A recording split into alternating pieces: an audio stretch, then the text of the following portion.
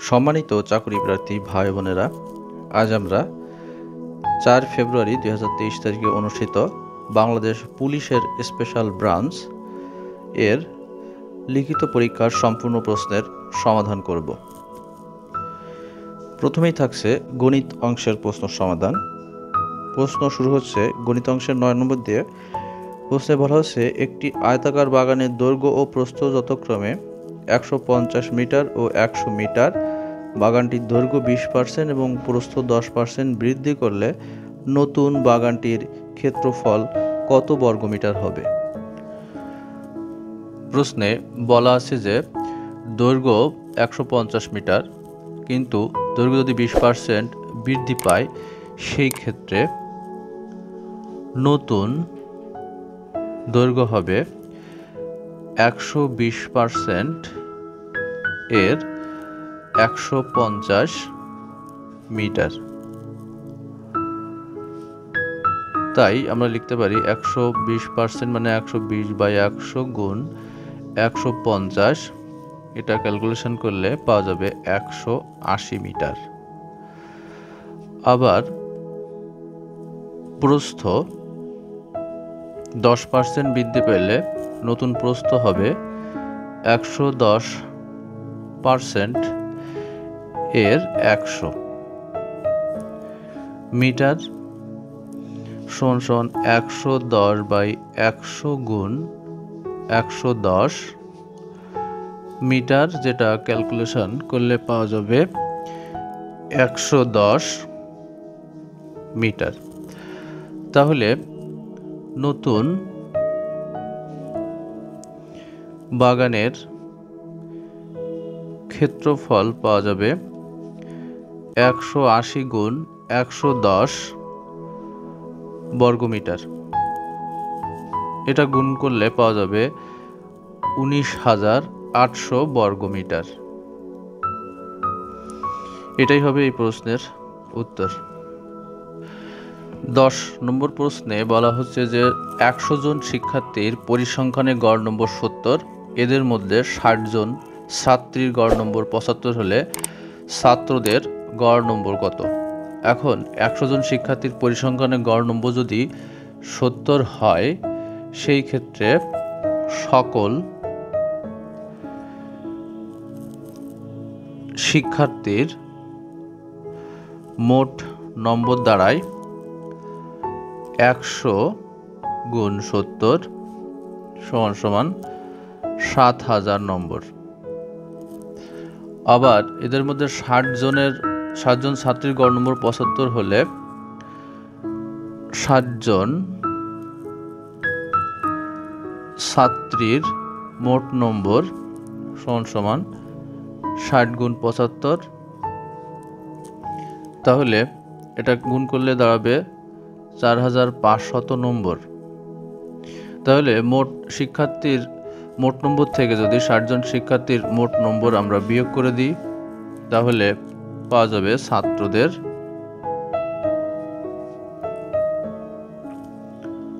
মোট নম্বর সমান এটার বিয়োগ করলে পাওয়া যাবে দুই নম্বর। তাহলে একশো জন, সকল শিক্ষার্থী ছিল একশো। তার থেকে যদি ষাট জন বিয়োগ করে দেওয়া হয়, তাহলে এখানে পাওয়া যাবে চল্লিশ জন ছাত্রের মোট নম্বর। তাহলে আমরা বলতে পারি যে চল্লিশ জন ছাত্রের গড় নম্বর সমান দুই হাজার পাঁচশত ভাগ চল্লিশ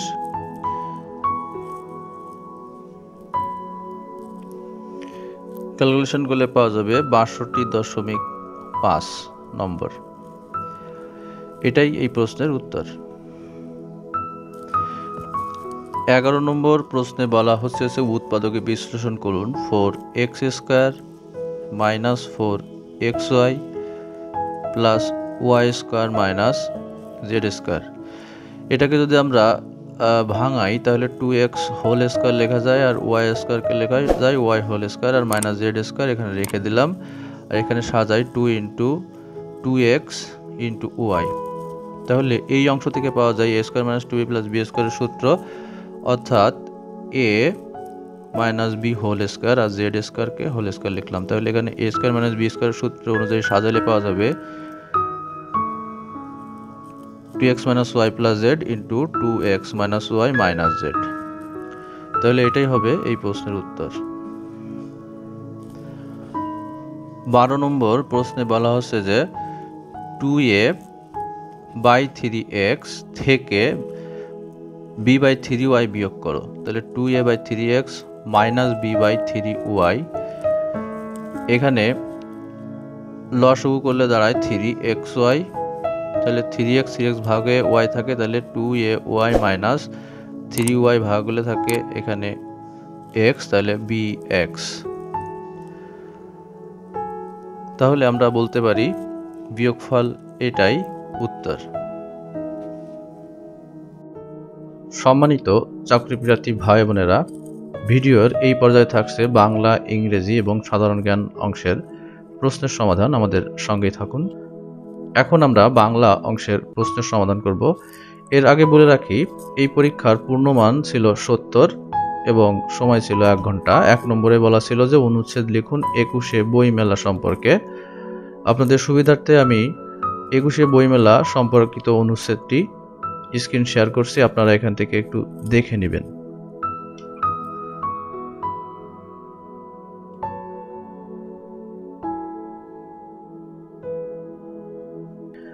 দুই নম্বর প্রশ্ন ছিল, সন্ধি বিচ্ছেদ করুন। দুইয়ের কথা বলা হচ্ছে ঘোড় দৌড়। সন্ধি বিচ্ছেদ করলে হবে ঘোড়া যোগ দৌড়। যথার্থ, যথাযোগ, অর্থ বা ঋত। মতৈক্য মত যোগ ঐক্য। প্রত্যেক মানে প্রতিযোগ এক। স্বল্প এর সন্ধি বিচ্ছেদ সুযোগ অল্প। তিন নম্বরে বলা ছিল যে, এক কথায় প্রকাশ লিখুন। তিনের কথায় বলা আছে আচারে নিষ্ঠ আছে যার।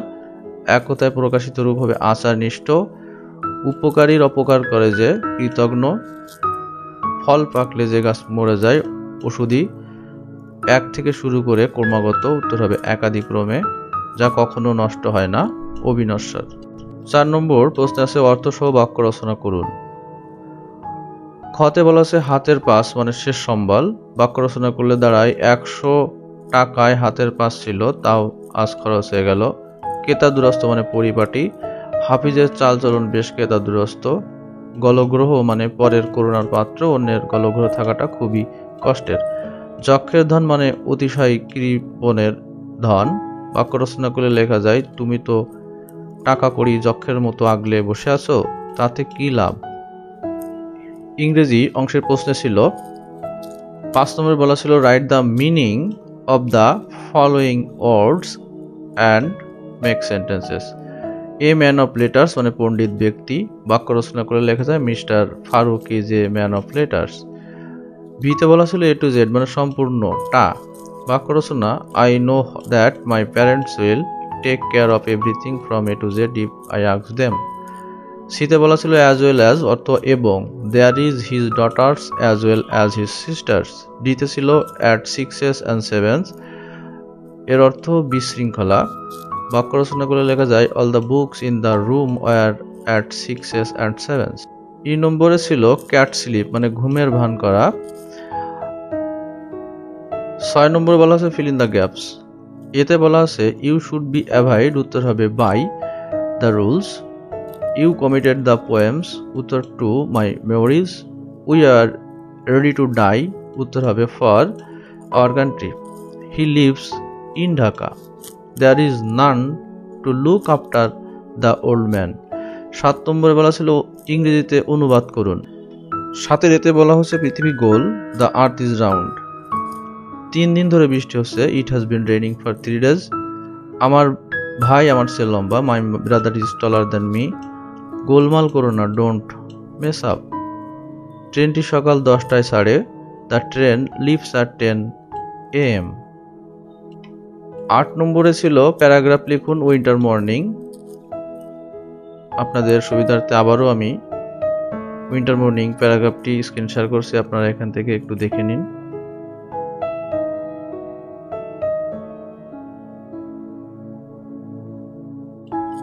তেরো নম্বর ছিল সাধারণ জ্ঞান অংশের প্রশ্ন, এখানে বলা ছিল এক কথায় উত্তর লিখুন।